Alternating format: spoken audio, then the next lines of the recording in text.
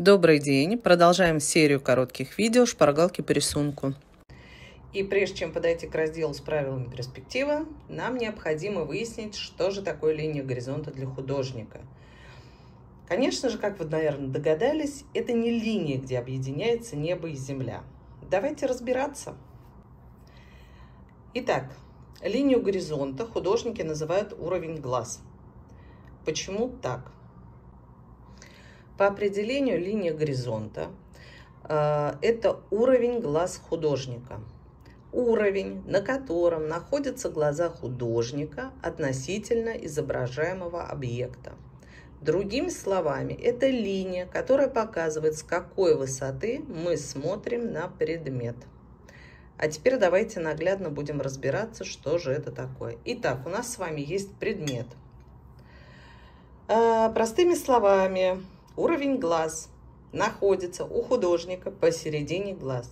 Вот представьте, что это мои глаза, и посередине проходит линия, которая показывает уровень моих глаз. Итак, опускаемся на предмет с высоты моих глаз. Вот здесь будет проходить уровень глаз. То есть с этой точки зрения я смотрю на предмет. На данный момент я смотрю на середину предмета меняем ситуацию. А, да, и представим, что это я сижу, например. Теперь я встаю. Что происходит? Я встала, мои глаза поднялись вместе со мной, и, соответственно, уровень глаз теперь находится вот здесь, а мой объект, который я хочу нарисовать, стал ниже. И когда это произошло, что мы увидели? Нам открылась вот эта вот поверхность объекта. Продолжаем. Теперь я хочу сесть на корточки. То есть мой объект остается на своем месте. Я села на корточки. Вот мои глаза и уровень глаз теперь у меня находится здесь. И здесь будет проходить линия горизонта. Что мы видим? Мы его еще даже повыше поднимем. Мы видим то, что у нас уже появляется нижняя часть донышка. Теперь давайте порисуем. Все это нам необходимо понимать для того, чтобы э, предметы изображать правдиво, правдоподобно.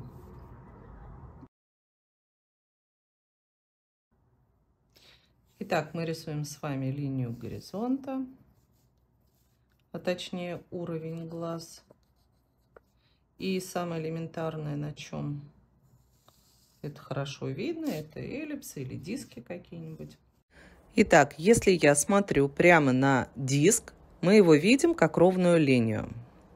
Если я потихоньку начну вставать, эллипсы будут раскрываться все больше и больше.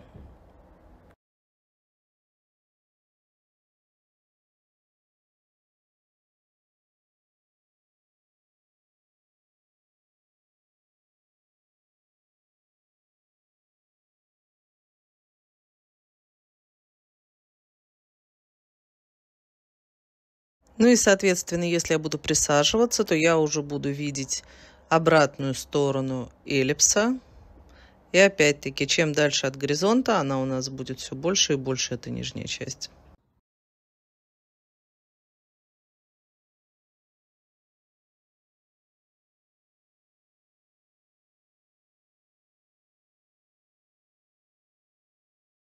Давайте то же самое на кубик посмотрим.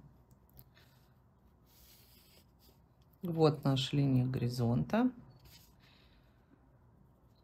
Итак, мой кубик посерединке, я его вижу вот так. Никаких ни нижних, ни верхних сторон я не вижу. Я начинаю вставать.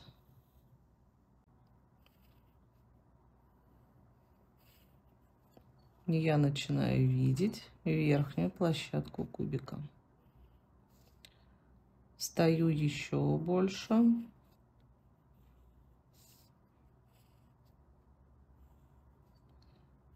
Я вижу еще большую площадку у кубика.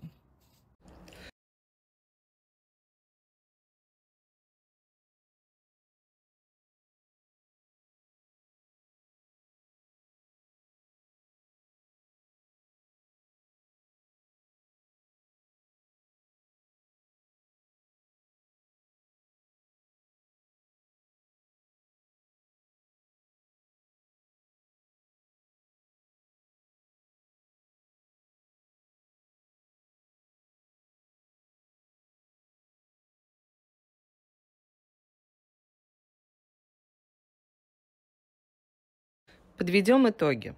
Благодаря линии горизонта мы можем передавать высоту, с которой смотрим на предмет. Наш уровень глаз по отношению к изображаемому объекту.